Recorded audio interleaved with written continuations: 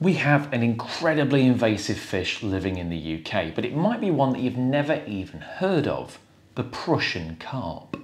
Also known as the Gibel carp, these were once thought to be a subspecies of goldfish, but have now been classified as their own species. They get up to 10 pounds, but normally around the 3 to 4 pound mark. Not a native to the UK, though interestingly, they do feature in Reverend Houghton's British Freshwater Fishes book, so they may well have been in the UK for longer than we first thought.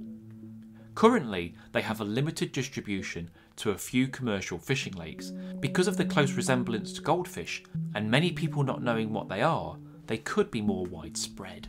So basically, they're a kind of giant goldfish, but you might think, what's the problem with that? We already have loads of goldfish in the UK.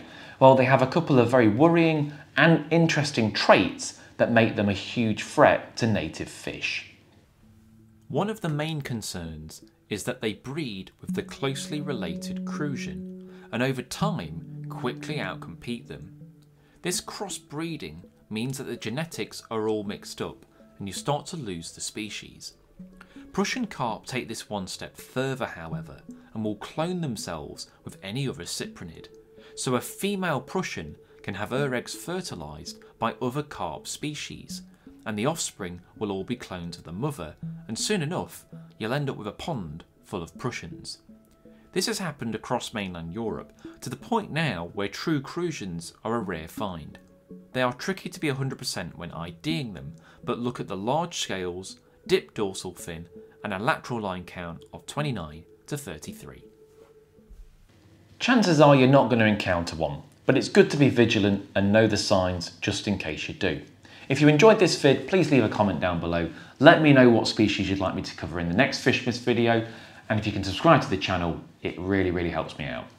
I'll see you in the next vid. Cheers. Hey Laura, Yes, Ellie. do you ever wish we knew more about the lives of British fish? Every single day. Wait, what's that over there? It's Jack Perks promoting his latest book, The Field Guide to British Fish. My God, you're right!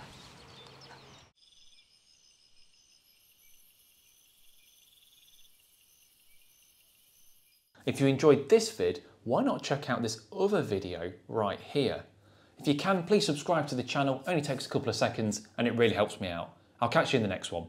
Cheers.